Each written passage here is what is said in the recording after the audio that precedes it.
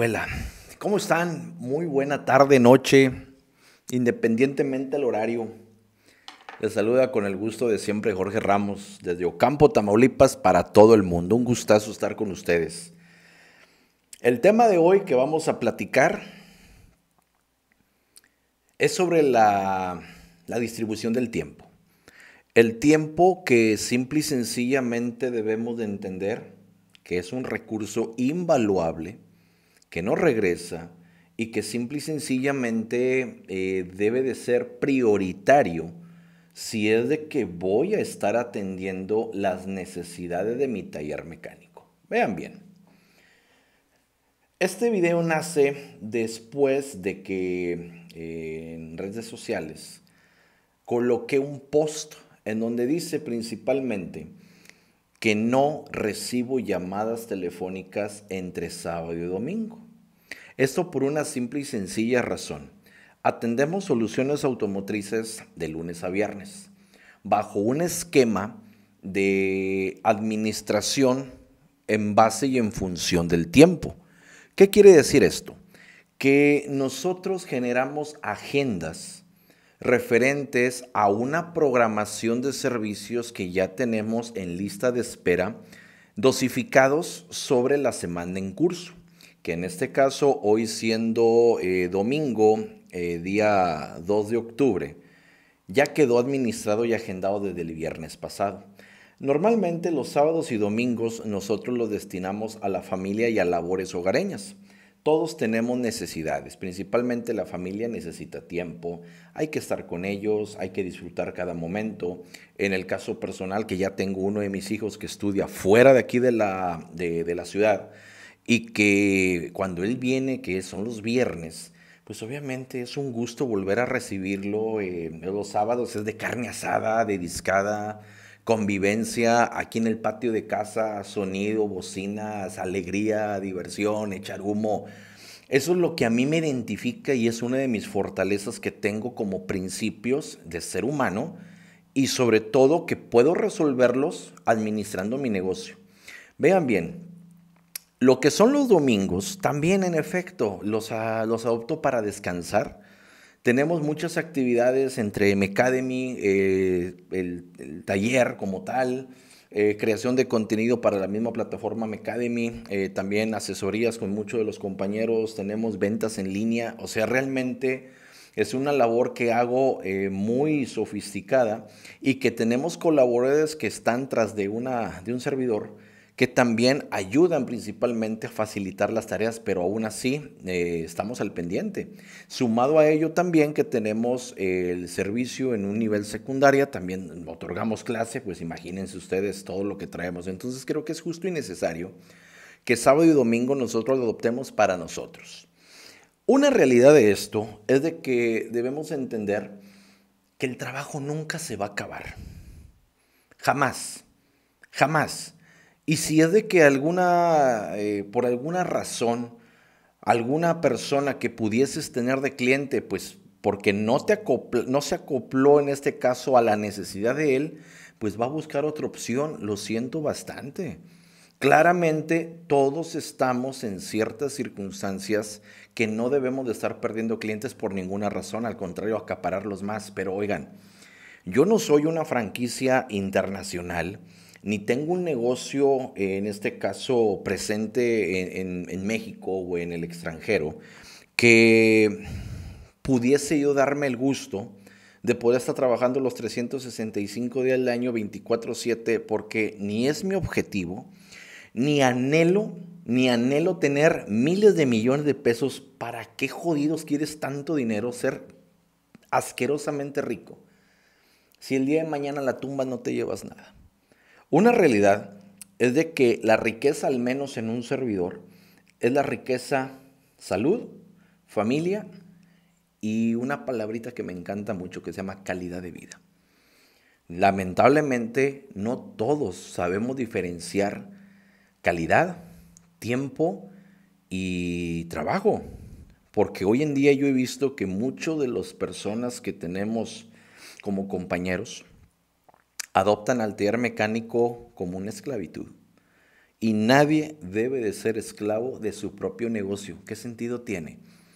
Muy respetablemente para muchos de ustedes que laboran en sábados, en domingos, las 24 horas, cada quien, cada quien se mata como quien quiera. En el caso mío no es así. ¿Por qué tengo la facilidad de poder descansar sábado y domingo? Porque tengo administración. Y es de ahí de donde nace el primer cuestionamiento. ¿Cuántos de ustedes llevan una administración en su negocio? ¿Cuántos lo hacemos? Les aseguro que de cada 10 talleres, dos, cuando mucho, se administran. Cuando hablo de administración, todo se basa en qué tanto tiempo estás, en este caso, ofreciendo al servicio que vas a realizar. Si yo hablo de una administración, es qué gastos tengo durante el mes corriente, eh, cuál es la nómina de mis eh, trabajadores, cuáles son los gastos en insumos, los gastos de servicios, luz, agua, teléfono, internet, no lo sé. Y todo eso me genera una cantidad mensual que debo de calcularla en cuanto a la ganancia que debo tener como persona o como taller. Y en eso genero el cálculo, que es una tabulación, para poder determinar cuánto tiempo eh, le puedo dedicar a cierto servicio con la finalidad de poder tasar una mano de obra. Lamentablemente, todos ponen precios solamente por lo que hicieron. Sin embargo, el tasar los servicios como taller mecánico debe de basarse en hora, es decir, cuánto me cuesta tener andando un taller mecánico, cuánto me cuesta mi taller tenerlo prácticamente funcional, cuánto. Y ese es un tema que lamentablemente no todos lo quieren hacer. Porque te quieres saturar de conocimiento técnico. Sale una persona por ahí ofreciéndote curso de reparación en sistemas multidiversos utilizando protocolos de últimas tendencias bajo el fundamento, bla, bla, bla, bla, bla. Un tema tan rimbombante que vas y pagas 12 mil, 20 mil, 40 mil pesos, en donde al final de cuentas no te sirve para nada lo que tú viste en ese curso porque ni siquiera es el parque vehicular que atiendes. Y ese es otro gran problema. Esas personas te llegan a vender la idea, es que algún día vas a tener ese trabajo, compadre. No, no. Una buena inversión es la que recuperas a corto o mediano plazo. Las mejores son a largo, pero es en otros temas. Ya eh, de inversión financiera es otro rollo, que también lo hago, pero no es el tema del día de hoy. La realidad de esto es de que cuando tú aprendes a dominar el sector en donde estás y que lo conoces principalmente, es donde a ti entonces en ese momento te da la habilidad de poder definir qué servicios voy a implementar, si es solamente mantenimientos, si son suspensiones, si son solamente diagnósticos, es decir, Claro que los talleres tienen que ser integrales, pero oigan, no podemos hacer todo. Tenemos compañeros que podemos en este caso tomar la fortaleza y la habilidad de cada uno de ellos para poder crecer. Se tiene que prácticamente delegar y saber hasta dónde yo puedo alcanzar. Sin embargo, una realidad y que estuvimos platicando allá en Tampico, en Expo Auto, al cual le mando un fuerte abrazo a Alejandro Ramos, al primazo, es de que lamentablemente también estamos regalando servicios que deben de ser costeables. Claro, para el cliente entre más le regales mejor, pero entonces ¿dónde queda tu valor personal? ¿En dónde queda el tiempo que le dispones a lo que vas a hacer? Digo, yo no sé, yo no sé, eh, por ahí en una ocasión vi que decían diagnóstico gratis. Ok, muy respetable, regálalo, no hay pex. Pero ¿qué pasa si el cliente no te compra el servicio? Tú le vas a diagnosticar el servicio, vamos a decir, por decir una situación, ¿sabes qué? Es esta pieza, la que está dañada. Te cuesta mm, dos mil pesos. Dos mil pesos. Que te diga el cliente, ah, está bueno, luego vengo porque no traigo lana. Ok, está bueno. Ya le dijiste cuál es la pieza, va, la compra, la instala, gratis. ¿Para qué chingados estás trabajando entonces? ¿Sí me explico? ¿Saben a lo de dónde voy? Como clientes, yo entiendo dos posturas. Me puedo poner a los pies del cliente y me puedo poner a los pies de un taller, porque yo también soy cliente de otros negocios. Y una realidad es de que yo valoro mucho, mucho de los lugares donde soy cliente, porque esas personas le destinan tiempo, tiempo, que yo soy las personas, cóbrame, cabrón, cóbrame, hazme mi chamba, porque es tu negocio. Los que estamos dentro del sector de reparación de unidades de servicio ligero, mediano y pesado según la clasificación, sabemos de antemano que todo amerita costos, todo amerita salida de dinero y debemos de recuperar. Entonces, cuando nosotros aprendemos a definir esa estrategia, ese rumbo, esa organización, esa definición de mi parte administrativa como taller, hablando como taller, puedo encontrar una estabilidad y voy a aprender a diferenciar del precio y del tiempo. El tiempo es un recurso invaluable que no recuperes bajo ninguna circunstancia. ¿De qué te sirve matarte 15 días en un vehículo tras una falla que trajiste a 20 personas que lo encontraron en conjunto y que al último le pides al Señor, hay para los chescos? ¿Y por qué le cobraste para los chescos nada más? O para el pay, para la coca. ¿Por qué le cobraste eso? Y tú mismo dices, no, es que si le cobro lo que es, entonces no me iba a pagar. Entonces, ¿para qué estás trabajando? Se los dije bien claro en alguna ocasión, si tu negocio no te deja para vivir, ahorrar, mantenerte, equiparte y sobre todo genera una marca de confianza, ciérrala la chingada y ponte a vender hamburguesas, tacos o lo que sea. Si tu negocio no te va a dejar dinero para vivir digna, honradamente y poder solventar los gastos de tu familia, ponte a hacer otras cosas. Es una, es una terminología cruel y he sido muy atacado por eso, pero es la realidad, allá ustedes, allá ustedes. Los negocios son principalmente para crecer, para ahorrar efectivo, porque nadie come, de, en este caso, de, de un échale ganas y muchas gracias, nadie come de eso. Todos necesitamos recursos.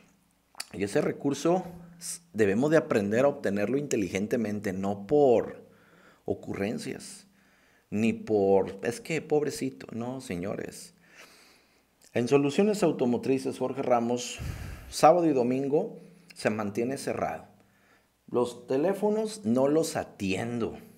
Mensajes tampoco los leo. Sin embargo, tampoco los abro para que mañana lunes, o en este caso a primera hora, yo pueda ver cuáles son los pendientes que tengo y ya con gusto me pongo a responder. Sin embargo, hay otra situación muy curiosa. Oye, que te marquen una vez es aceptable.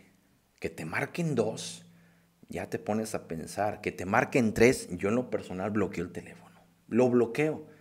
Porque si no contesto, no es porque no quiera si no contesto es porque estoy atendiendo diferentes servicios que me llegan de cualquier naturaleza, adaptaciones, codificaciones, programaciones, estoy en un diagnóstico, estoy aquí en, generando los cursos de Mecademy, estoy concretando ventas en línea, colegas, compañeros, amigos. Si no les contesto el teléfono, no es porque no quiera, estoy ocupado tengo otras situaciones que atender y que con todo gusto déjame el mensaje, yo te voy a regresar la llamada. Pero que te marquen 15 veces seguidas, casi que colgando y Dios, porque aquí tengo una llamadas perdidas. 15, digo, ¿este cuate lo están matando? Regreso la llamada, minutos después, y todavía se encabronan con uno. ¿Para qué chingados quieres teléfono si no vas a contestar? Fíjense nada más. ¿Ustedes creen que es justo para una persona que esté realmente en un servicio, ofreciendo servicios, que todavía le contesten así? con todo respeto, compadre, no estés chingando, vámonos y se acabó. Se acabó, yo no estoy para aguantar chiflazones de nadie ni nadie.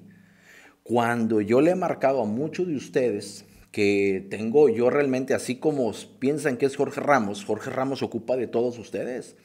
Eh, eh, oye, pásame esto, colabórame con aquello, eh, necesito esto, tengo una duda. Yo con todos ustedes colaboro de alguna forma. Sin embargo, una realidad me da mucho gusto cuando marco y que no me contestan a la primera. Me da bastante gusto ser en esos casos ese tipo de, situaciones porque a mí me llega a, a dar como la siguiente razón de que simple y sencillamente estoy entendiendo que lo que está pasando aquí, que lo que está sucediendo aquí, es de que no, de que no eh, podemos en ciertos puntos poner en tela de juicio al compañero. A lo que voy simple y sencillamente es de que me da mucho gusto que no contesten la llamada que estoy haciendo, porque sé perfectamente que están ocupados, están trabajando, están haciendo lo que tienen que hacer. Entonces, ¿qué pasa con esta situación? Cuando te contestan en la primera, pueden estar en el, en el hora de lonche, pueden estar principalmente en el break o no hicieron nada, o simple o sencillamente eh, pues tienen el espacio y el tiempo para atender, ok, en su momento. Hay quienes a lo mejor en, el primer momento pueden estar diciendo, ¿sabes qué? Mira, no tengo a la mano, eh, no sé, lo que estás buscando, dame oportunidad para la tarde, ok, vale, es totalmente aceptable. Sin embargo, también encuentro muchas situaciones, como sabemos, por ejemplo, este video aquí está en YouTube, eh, me contactan muchos de ustedes, me mandan correos electrónicos, no sé cómo consiguen mis números eh, de, negocio. El personal no se lo paso prácticamente a nadie, absolutamente a nadie. Eso solamente es familiar. Eh, pero dan con él y no pasa nada. Digo, a final de cuentas es un teléfono para servicio.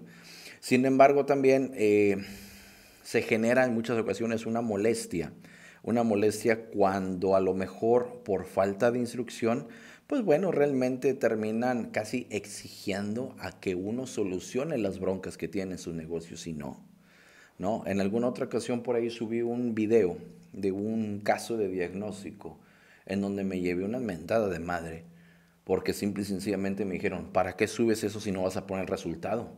Oye, espérate, pues yo no estoy obligado a ti darte un resultado, porque si ustedes han visto en los videos de YouTube, uno que otro ve, muestra un proceso completo, porque son, son fallos muy básicos y elementales que deben de tener capacidad para resolverlos.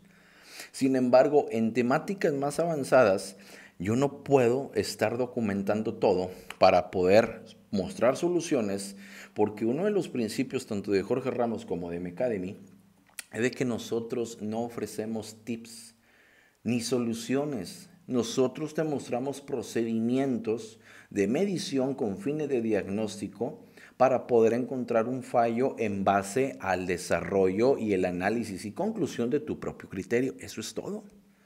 Eso es todo. En lo personal y en mis redes no van a haber soluciones de nada. Pueden ver procedimientos que son procedimientos que encuentras en cualquier lugar. Pueden ser repetitivos si tú gustas.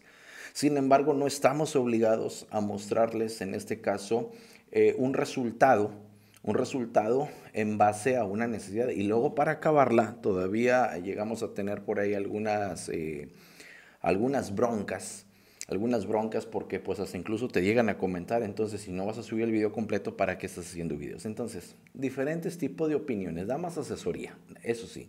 Y sin costo, no pasa nada, en una asesoría no pasa nada. Eh, por otro lado, este comentario no es un, no es un símbolo o una representación de molestia directamente con todos. Para nada. Es más que nada un punto de conciencia. Un punto de conciencia que debemos de adoptar y que yo sé que muchos de ustedes también quieren su espacio, quieren tener su momento. Sin embargo, también una realidad es de que todos nos organizamos de una manera distinta según cómo nos funciona nuestro servicio, nuestro proyecto o la necesidad. Entonces, bajo esa circunstancia y ese contexto, eh, cuando ahora vemos desde el punto de vista de clientes, siendo en este caso muy, muy clientes de un taller, pues bueno, ya es decisión también del representante, del mecánico, del encargado, quien sea, de poder atenderte fuera de horario, por decir así. Nosotros, de, nosotros para empezar en soluciones automotrices no atendemos emergencias.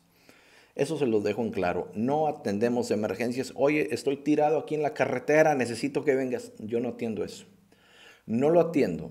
Porque uno, si yo taso mi servicio, salida, diagnóstico o reparación, ¿cuántas vueltas voy a dar hacia donde está el vehículo?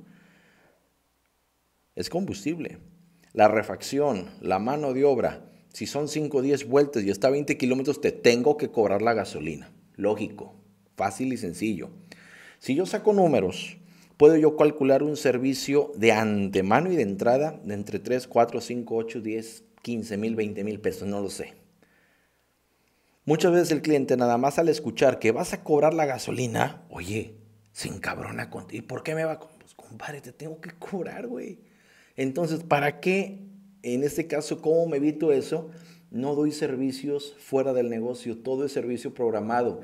Si en nuestro negocio llega una persona, necesito que me lo arregles ahorita. No, señor, hay una lista de espera. Y simple y sencillamente lo que podemos saber es lo siguiente.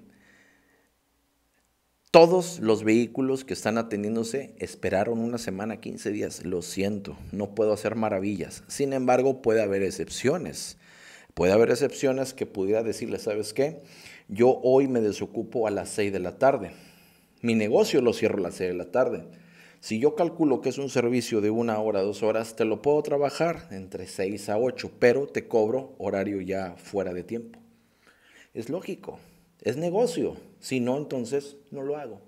Bajo ese entendido y previamente platicado con el cliente, eh, si llega a un buen acuerdo y deben de entender que los clientes no son tontos, los clientes entienden.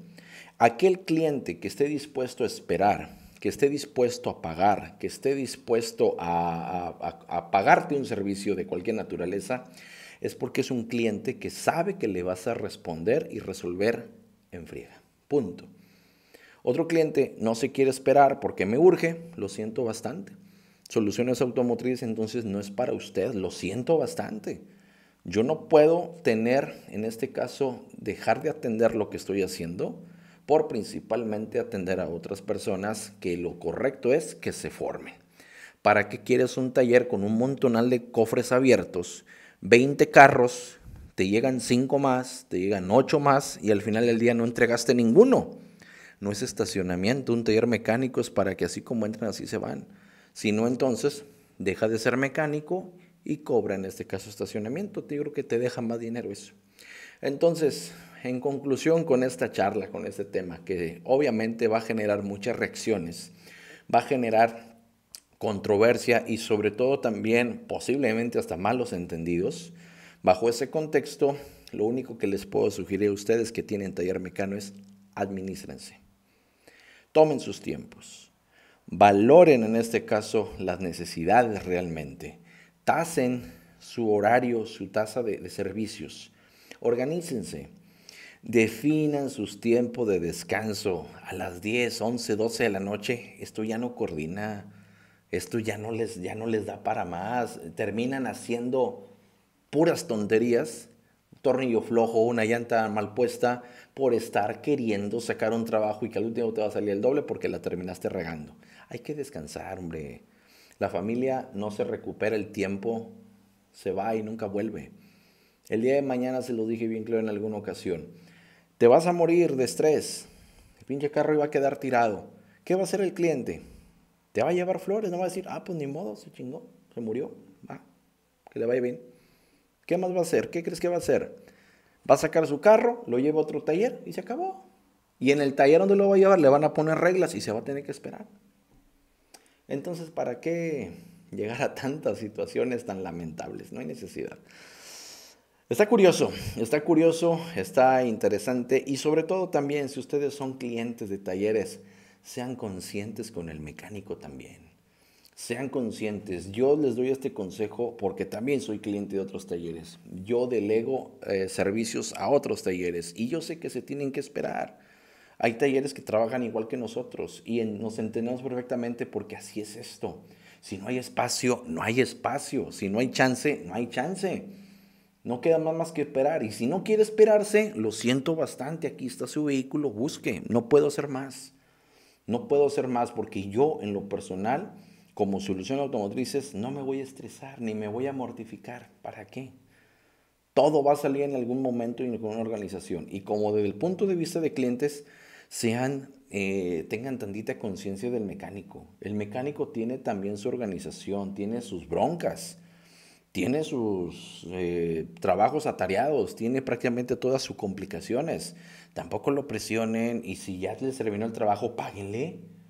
Oye, me llama la atención que después hay, hay clientes que te marcan el lunes, te marcan el martes, el martes en la mañana, el mediodía, en la tarde, el mediodía, en la noche, en la madrugada, WhatsApps a las 5 o 6 de la mañana. Que si ya está el carro, que si ya está el carro, que le urge, que le urge, que le urge. Llega el sábado, tú le marcas, oye, ya está su cliente, ya, ya está su carro, perdón. Y te dice el cliente, bueno, pasa la otra semana porque no tengo dinero. Qué cosas tan curiosas. Entonces, Bajo ese contexto y bajo esa circunstancia, eh, simple y sencillamente los invito a que se organicen como talleres mecánicos y como clientes tengan conciencia de los mecánicos.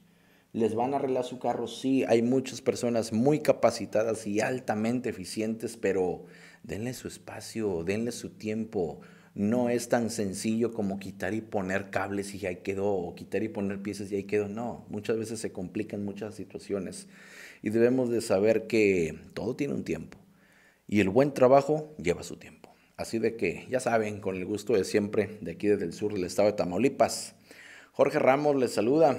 Hoy estoy poniéndome mis lentes porque hoy sí de plano no veo, pero bueno, de eso se trata, con eso estamos. Así de que ya saben, Cuídense, si les gustó, denle like, suscríbanse y compartan. Cambio fuera, saludos.